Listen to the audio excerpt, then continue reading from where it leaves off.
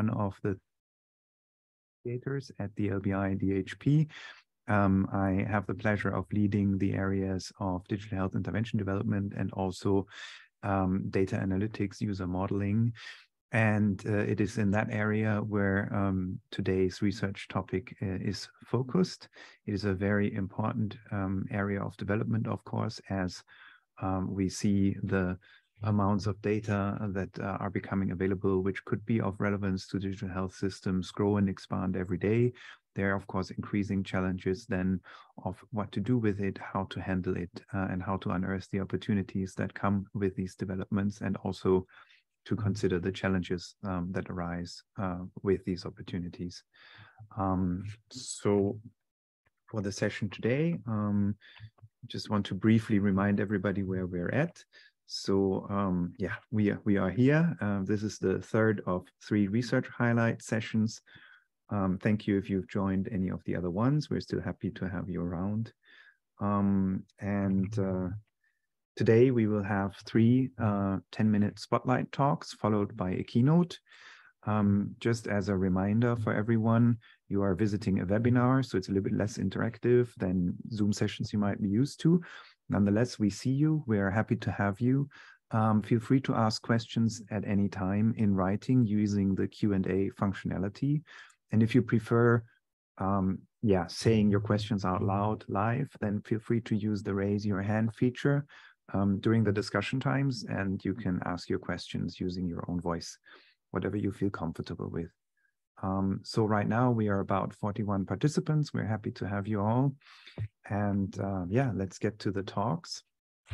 Um, so we will start today with a, a presentation on exploring multi-level customization and data analysis for personalized digital health interventions that will be given by Sebastian Gruber, who is a pre-doc researcher at our institute. Uh, Sebastian um, is um, enrolled at the Johannes Kepler University of Linz for doing his PhD, where he's also um, completed his master degree in business informatics beforehand. And um, yeah, we're very happy ha to have you, uh, Sebastian. I will um, ask you to share your slides and uh, hand over the presentation to you for the next few minutes. Thank you for these kind words, Jan. Um, I'm going to share my slides. Well, um, yeah, I'm very excited to give a brief overview of my dissertation project actually. Um, the title is Exploring Multi-Level Customization and Data Analysis for Personalized Digital Health Interventions. And um, let's start with a brief scenario. Imagine you plan to go for a walk after work today. Now the weather is sunny and you have no appointments for the next two hours, but later in the day it will rain. So at this point, you may wonder if it wouldn't be helpful to get a message on your smartphone suggesting you go for a walk right now. And yeah, we can use personalized digital health interventions for such a case. For example, the just-in-time adaptive intervention. Um, in short, aim at supporting behavior change for individuals, for example, promoting physical activity, and by building on advances in mobile technology, for example, using the sensors built in in smartphones to capture external um, or contextual data of uh, individuals. And JITAIs are um, defi defined as a multi-component intervention with um, the components like decision points, which are points in time at which an intervention decision is actually made. Um, tailoring variables, which are information concerning the individual, like internal and external values, such as the location of an individual. We have intervention options, which is an array of uh, treatments that can be applied at any point in time. And finally, decision rules, which link tailoring variables and intervention options to provide the right amount of support at the right time. The outcomes are measured in terms of proximal outcomes and distal outcomes. Proximal outcomes are short-term outcomes, for example, the number of steps 60 minutes following an intervention, while, while the distal outcome is the long-term outcome, for example, the weight loss over a few months. Well, uh, let's continue with our scenario. Imagine you're a researcher now and you want to develop and ev evaluate the replanning JITAI. The replanning JITAI suggests users to reschedule already planned exercise sessions um, to, um, to more appropriate times to improve their adherence to recommended levels of planned um, of physical activity. And you have implemented different variants of this JITAI for different use cases and are now facing difficulties in comparing them. So um, why are you facing difficulties? Um, there are different data models of JITAI implementations in different use cases. And they all require custom code for query-based interactions with data. And by query-based interactions, I basically mean uh, rules, triggers, aggregations, and anything that reads from the data. And for comparison across different use cases, each JITAI implementation needs to be investigated individually to develop custom scripts for um, analysis, for example, to integrate the data. And we consider this from a data engineering point of view as a lack of consistency, which means, in short, um, if we define a query or a query-based operation for one data model, um, and we can perform the same query over another data model and achieve the intended result, then these two models are query consistent. So the question arises, how can we avoid these difficulties? And our idea is to use conceptual modeling of JITAI studies and JITAIs.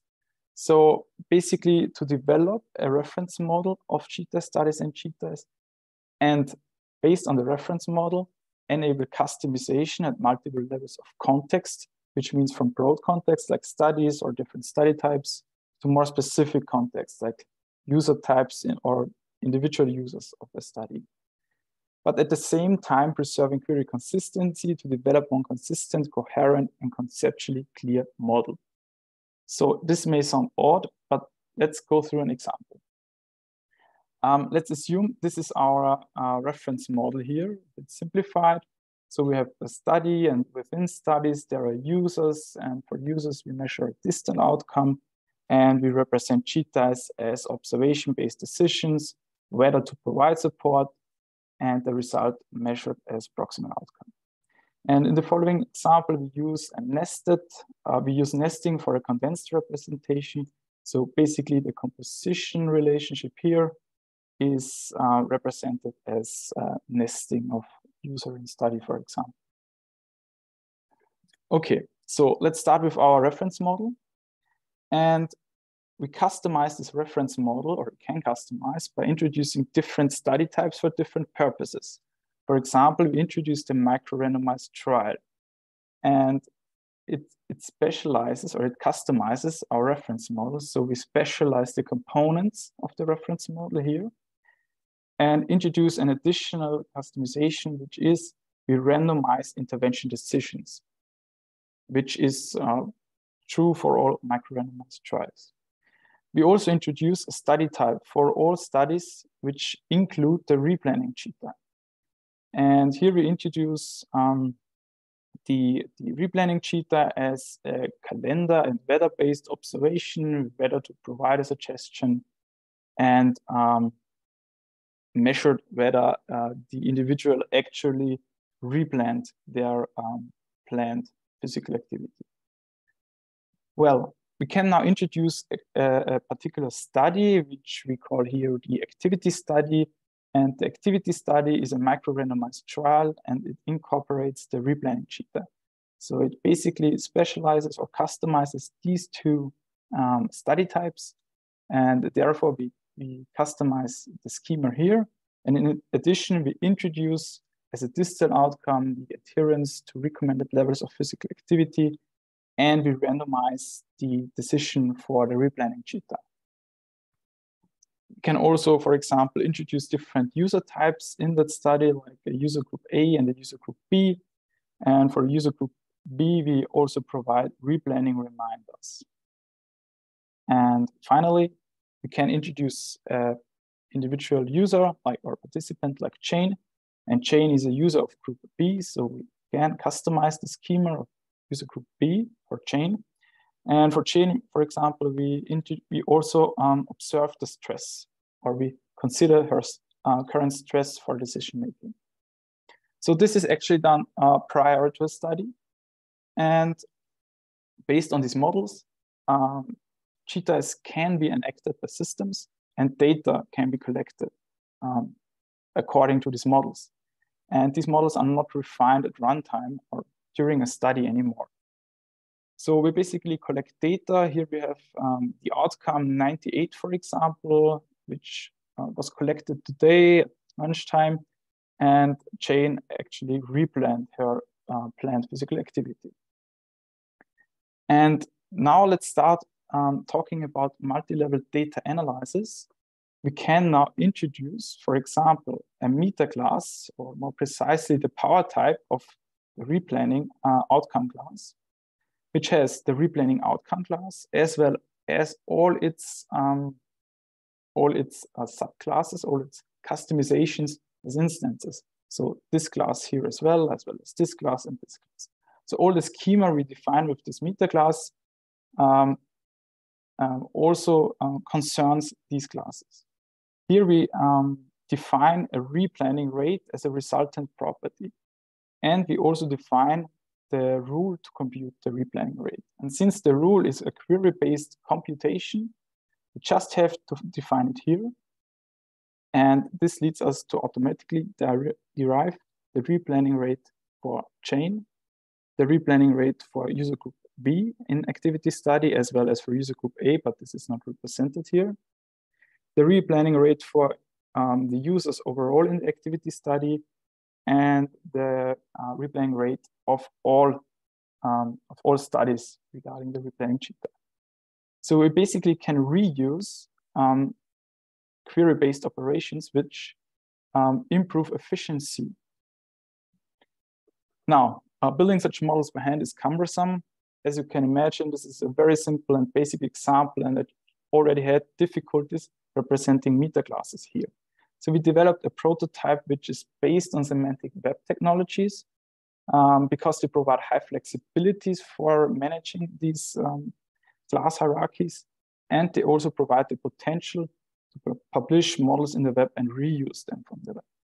And this version of the prototype is also um, open source available at our GitHub repo. So, oh, my presentation time is almost up. Um, thank God I got this uh, reminder just in time. So to wrap it up, there is a lack of query consistency, which makes, for example, comparison of JITAIs difficult. Our idea is to use concept, conceptual multi-level modeling, and this has, uh, beyond solving the problem, some more um, um, um, potential, for example, to improve efficiency in JITAI development or automating structural validation of studies and automating data analysis. And currently we're working on integrating concepts from product lines to improve reusability and implementation and evaluation in practice. Here are some references and thank you. All right. Many thanks, uh, Sebastian, for that uh, insightful uh, presentation, which you managed to finish just in time. so, um, yeah, this is a very um, interesting but complex um, challenge area, I would say. Um, so far, we have not received uh, audience questions in writing. Um, so just a kind reminder, feel free to use the Q&A box to ask any questions you may have um, or to alternatively raise your hand um, in the using the raise your hand feature. Uh, if you if you'd like to ask a question directly using voice, uh, then we can bring you in to ask a question directly. Um, so yeah, for the time being, um, I have, of course, many questions about your projects uh, continuously, as you know. Um, so one